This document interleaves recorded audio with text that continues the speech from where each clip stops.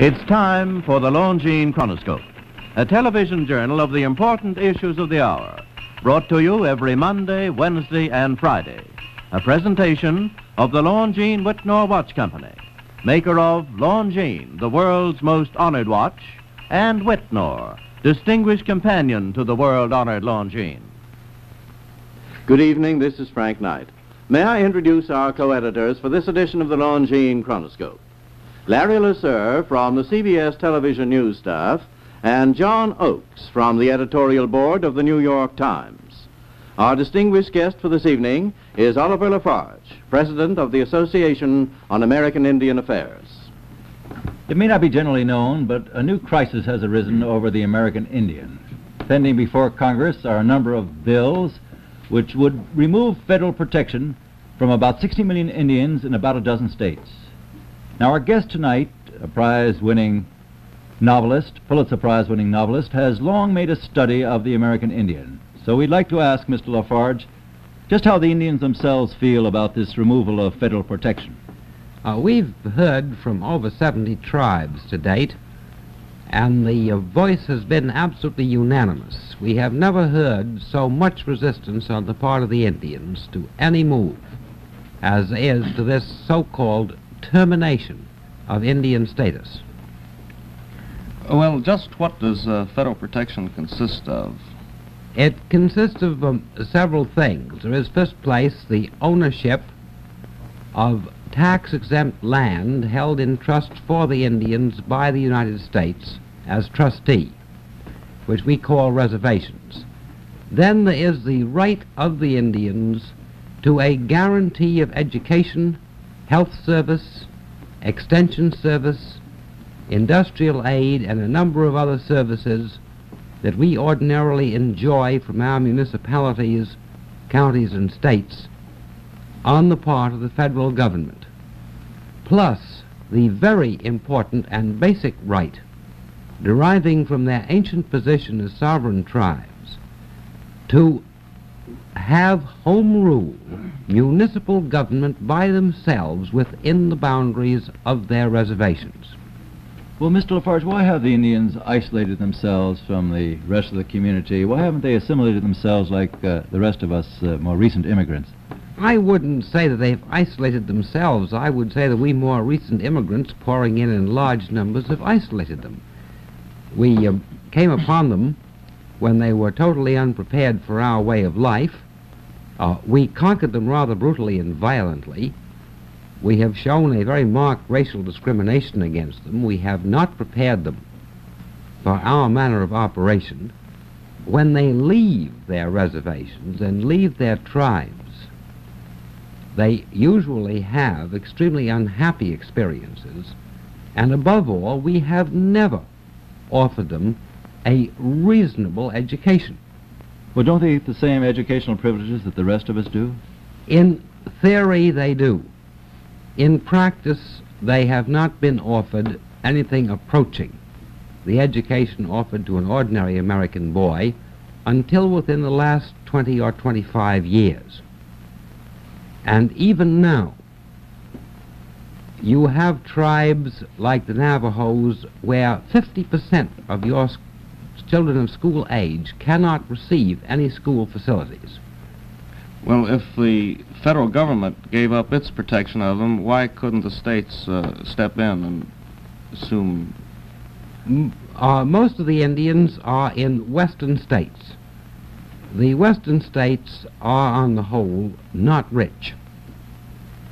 If the uh, western states had to pick up the burden of these services to the Indians, it would be financially impossible for most of them to handle it. All the Indians would do would do would be to drag down the level of the services the states are now able to render to their own citizens, which are below the level of the services to which you're accustomed, let's say, here in New York State. Well, uh, President Eisenhower, I remember, said that uh, the these bills would be another step in removing the uh, second-class citizenship status of the Indians, although he did express a desire that the bills be reconsidered and possibly amended. Now, what was he referring to there? Uh, I don't know what he was referring to, except that he was ill informed. The Indian is not a second class citizen. The Indians have all the rights and all the responsibilities that the rest of us have. By that I mean the Indians have the vote, they are liable to military service, and they render military service the same as all the rest of us, and by the way, they do it magnificently. They are free to go anywhere they wish, to engage in any business in which they are capable of engaging, or which they wish to attempt, to marry anyone they wish to marry. There is no limitation upon the freedom of an Indian, other than the one limitation that the land that is held for him in trust, like any trust, is a trust he can't break. Well, But the Mr. states can uh, actually seize this land now, you say? No, if this termination legislation came, went through, goes through, then the protection that exists on these lands and its ex- their exemption would terminate.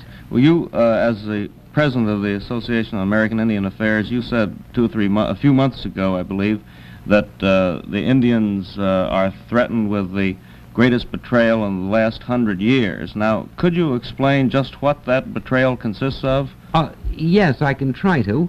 Uh, we have had in the past legislation to open the way to stripping the property and the rights as Indians from a great number of tribes. Outstandingly, the Allotment Act of 1887. But never have we had in Congress blanket legislation that the um, not only the bills to terminate some 70 the status of some 70,000 Indians You mean to end federal all federal all protection? federal for- state- Well, this, for you, them, you, you give me the impression this would be like the Cherokee run, and if the white man would just run in and take over the reservation. That wouldn't be the case, would it? uh, it would be the result. And because uh, in addition to those bills for the specific Indians, there are bills pending which would, in the long run, strip every living Indian, whether he spoke English, was literate, illiterate, or not, of any vestige of federal protection. When you add all of those up together, you have the most serious attack on the rights of the Indians that has occurred literally since the founding of the Well, Republic. now, if the Indians don't want it, what's behind it? Who does want it? Well, um, uh, it's you feel a little um, uncertain in trying to say. Partly, a lot of people are impatient with the failure we have made, and think that perhaps we could do better if we merely cut these people loose. Uh, a lot of people are deceived by this talk about first-class citizenship and equality, not realizing what rights the Indians now have, and what good citizens they, what free citizens they now are. But on a lot of Indian land today there is oil. On a lot of Indian land that used to be thought to be desert, there is uranium. Uh, the Indians own a lot of very valuable timber. In Alaska, where Indian title has never been settled and the boundaries have never been drawn, the Indians have a claim to the best salmon fishing country and the best timber in the territory. There is a lot of reason why it would be very convenient to liberate these people so that they had no protection and nobody to defend their rights. You mean they wouldn't be able to sell these uh, properties if they remained under federal jurisdiction? They couldn't sell them or lease them except with competent advice and advice of counsel and under very strict rules. We have an example that came up in this is up in in the state of Utah in a bill to terminate a small group. It came out in that bill, in the hearings on it, that there are oil structures under that land, that there is an oil company that has been trying to lease the land without going through the statutory controls requiring open bidding and the best possible terms for Indians. If those Indians are, quote, liberated, unquote, or, quote, terminated, why then that oil company can move in on these people who are very poor and semi-literate and probably drive a magnificent bargain. Mr. La Farge, does this mean the end of the Indian Bureau in Washington if these laws are passed? I've often heard the Indians complain about the Indian Bureau in Washington. It would probably end up end the Indian Bureau along with the Indians. The Indians kick it about the Indian Bureau. Yes, they do. Well, Mr. La Farge, may I ask you as a final question, uh, what do you think the Indians actually want to make them into full first-class citizens of the United States? Education,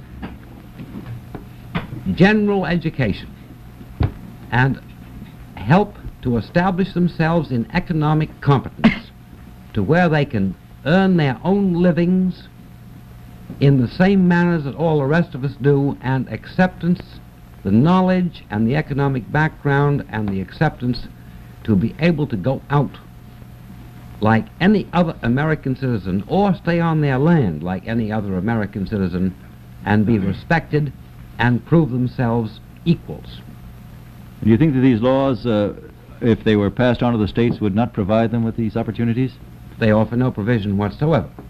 They merely deprive them of the best of, of what chance they have for. And so to be a first-class citizen, the Indian must have the protection of the federal government, you feel? Must have the protection of the federal government and until his first classness can be innate in himself. It does not derive from legal status, it derive, must derive from his own knowledge. Thank you very much, Mr. La Farge. It's Thank been you. very interesting to have you here Thanks. tonight. The opinions expressed on the Longines Chronoscope were those of the speakers. The editorial board for this edition of the Longines Chronoscope was Larry LeSueur and John Oakes. Our distinguished guest was Oliver La Farge, president of the Association on American Indian Affairs.